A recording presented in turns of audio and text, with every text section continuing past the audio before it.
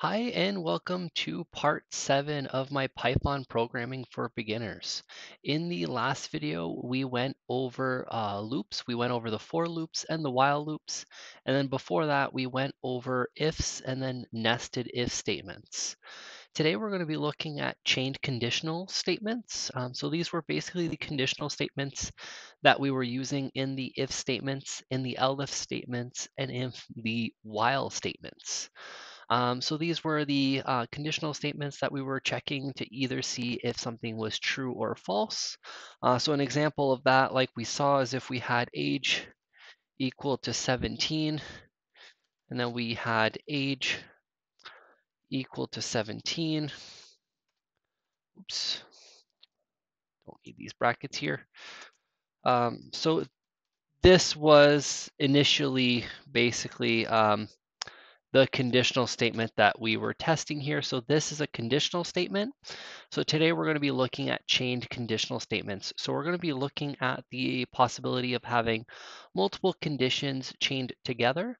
Now, um, I'm just going to pull up uh, one of our files here that we worked on previously uh, because this actually kind of goes hand in hand with the nested if statements. Uh, so what I'm going to do here is I'm actually just going to open this up in Visual Studio Code, and I'm just going to copy paste this code here that we had from our nested if um, tutorial. So here we had age equals 16, and we had two variables um, for is graduated and is licensed. And we had is graduated is set to true, is licensed is set to false. And we had a lot of these multiple if statements um, nested inside of each other. So here we're actually going to be able to see like how we can um, make these a little bit simpler and maybe not have so much um, nested if statements. Um, so these are usually what conditional um, chained conditional statements can help with. Um, so I'm just going to erase this here, and we're going to be starting from scratch. Um, so let's go ahead and let's just take a look at all the different possibilities of these chained conditional statements. Um, so these operators that we're going to be using to chain them are it's going to be and, or, and then we're also going to be seeing the word not here. So the and and the and the ors are going to be uh, primarily used to combine statements. Um, and then the not is going to be used to um, um, negate them. Uh, so basically, if something we said was true, we could put the not in front of it and make it to false.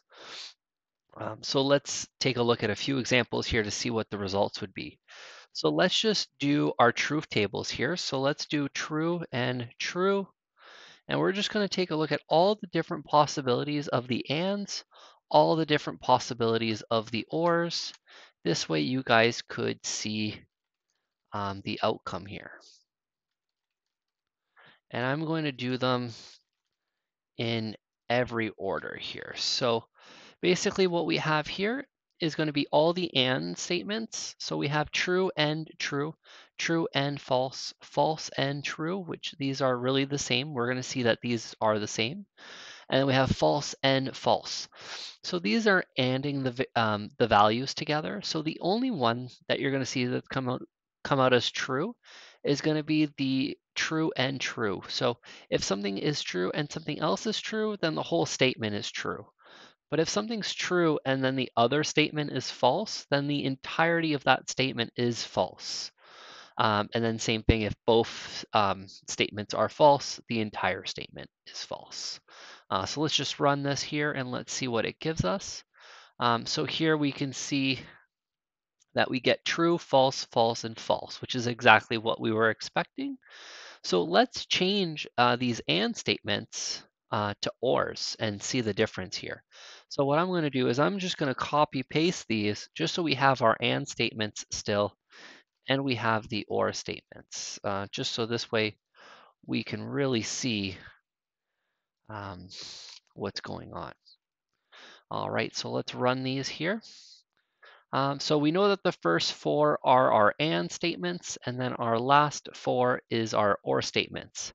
Um, so we have our statements right here. And let's see what these equal out to be here. Just, all right, so we have true or true, which is going to be true. True or false, which is going to be equal to true. False or true is going to be true. And then false or false is still going to be false. Uh, so the logic behind that is if you have a true statement or another true statement, uh, both of those are true, so the entirety statement is going to be true. If you say um, uh, there's a true statement, but there's also a false statement, but you just OR them together, the whole statement is true. Like if I say the sky is blue and I'm a billionaire, well, the I'm a billionaire is definitely false, uh, but the sky is blue. So the statement's still true uh, because one of them was true. Um, and then the same thing for the inverted uh, false or true. And then if the both statements are false, uh, then everything is going to be false at that point. If I say the sky is falling and the earth is colliding into the sun, which might be true, um, but we're just going to take those as both false statements. I'm not too positive on astronomy there if there could ever have that happen. Um, but for now, uh, both of those statements are false. Uh, so that whole condition, that whole chained statement is also false. Now we have the not values. Um, so let's actually erase all of, actually, we're just going to keep these here. So what we're going to do here is we're going to print out not true. And then we are going to print out not false. And what we're going to do just to clearly see where this is here, I'm just going to print out a bunch of, of lines here so we can see where our not true and our not false is. All right, so not true is equal to false and not false is equal to true. So that's exactly kind of what I was explaining earlier was if you have the not in front of something, it will just negate that value. Uh, think of it as like putting a, a negative sign in front of a number. If you put a negative sign in front of a negative number, it becomes positive. If you put a negative in front of a positive number, it becomes negative. So very, very much kind of like that, um, or multiplying. Uh, basically, you would be multiplying those values, uh, so you get the opposite of the original value. So let's take a look at actual uh, examples here and not just using uh, the Boolean um, variables. Um, so let's actually see here if we have our age, which is equal to 16, and then let's have uh, in school is set to true. And let's just use these two. I think that that should give us a pretty good example here. So let's say we have a, um, let's do a while statement here. These are kind of fun to do. Um, so we have a while statement here, and we're just going to say while age equals to 16 and in school, we print in school still and 16. All right. Oops, and we just need to do that there. All right, so while the age is 16 and school is equal to true, then we have in, in school still and 16. And then we're going to have a, um, let's do this as choice here. And then we're going to have an input. We're going to be, are you still in school now?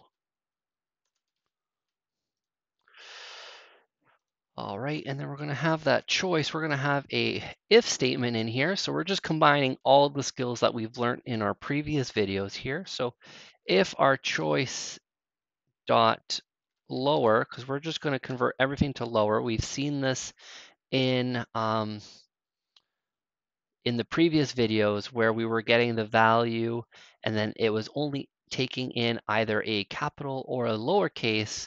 Uh, but since Python is case sensitive, we always want to make sure that we're adjusting that case to the case that we want to test against. So if choice dot lower equals to be n, and then we're going to put in school is equal to false, and then else, uh, we're just not going to do anything.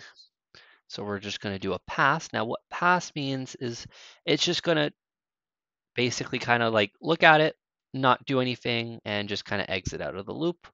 We could have simply just have done this as well, and this would also work. So this is where I'm going to leave it at there. Um, so basically, if you type in n, then this should exit the loop. So let's see what happens here. So in school, still N16, are you still in school? We're just going to put, um, oops, we're just going to put the letter P here, still in school. And let's say that we're no longer in school, and then it exits out because this in school was set to false. So now if I do uh, the OR here, now this is actually where these loops get kind of dangerous because now there is no, um, this statement could well be not very true. So let's actually just uh, exit out here and let's just put um,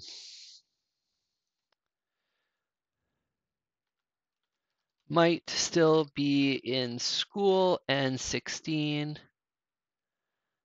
And then are you still in school now? Perfect. All right, so we might still be in school. Um, and we are 16. Are we still in school now? Let's just do P. It's still there. Now let's tell it that we're no longer in school. And it's still looping because we have the OR statement here. Um, so this age would have to change. It would not have to be 16. Uh, so what we could do in this case is um, have another choice here. And let's put another equal to input here. Um, and let's just do how old are you? And then let's do a if choice equals, actually all we need to do is do an age here. And let's make sure that we are converting this to an integer here.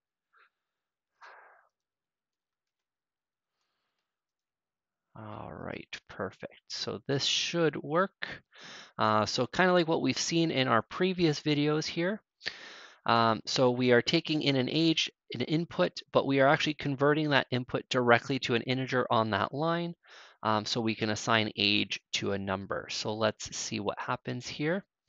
So are you still in school? We're just going to say we're still in school. Um, are you still in school?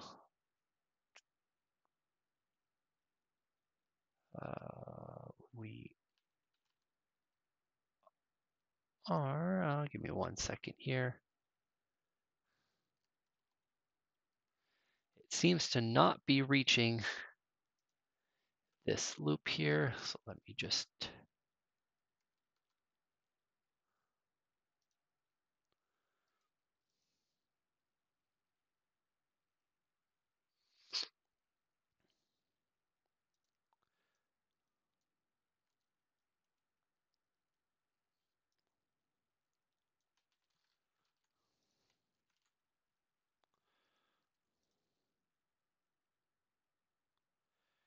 It just doesn't seem to be taking in any of these changes here. So let me just uh, save this here and see if it's working now. Okay, there you go. Perfect. So um, if we say that we're still in school, um, it's asking how old are we? So let's just tell it that we are 16. It's still in the loop. Let's tell it that we are no longer in school. We're still in the loop. And let's tell it that we are still 16. We're still in the loop here. Um, so are we still in school? Now that school is already false, um, this question really shouldn't be asked anymore, but I'm just going to say no. And I'm going to say that I'm 17 and it exits out of the loop. So a way to even make this um, even better here is we can add a if in school right here. And then we are going to see how the nesting and everything works.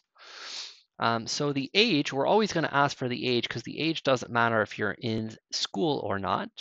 Uh, so here, here we'll have the chained conditional statement here of age is equal to 16 or in school. Uh, so let's just save this here because that was my problem last time. I forgot to save and then I went to execute the code and it was still executing um, before I had made that change here. So uh, let's run this here. So are we still in school? We're just going to say yes. How old are we? We're going to still say that we're 16. Are you still in school? Nope. I'm still 16 though. And now it's just asking how old am I? Now I finally turned 17 and it is out. As you saw in the last part, it did not ask me if I was still in school because it had noticed that the school was set to false. So this is how you would use these chained conditional statements. You can chain as many as you want. Um, it's going to be really up to the application that you're building or game that you're building to determine if a chained conditional statement would be best um, or if nested um, if statements would be best. It really kind of depends on the application um, and what you're building and what your needs are. Um, but this is how you would do chained conditional statements. Play around with these. I know that this video went a little bit long just for this, um, but I wanted to just kind of incorporate the loops, the if statements, a nested if statements, and chained conditional statements. Um, on the next video, I will be looking at lists and tuples. Be sure to like and subscribe and hit that notification bell to be uh, notified when that video drops. Thanks, and I'll see you on the next video.